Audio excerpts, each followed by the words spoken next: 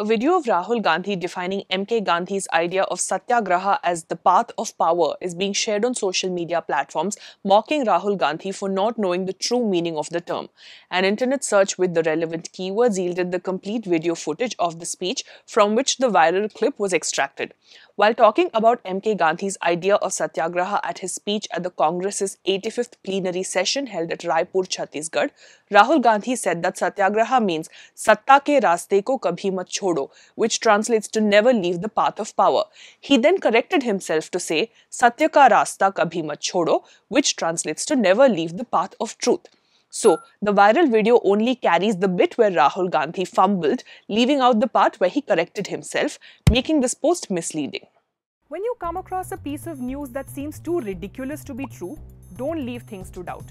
Run searches on Google and Yandex and weigh out the true and false of the situation for yourself by looking at the facts. But first of all, before you hit that forward button, pause.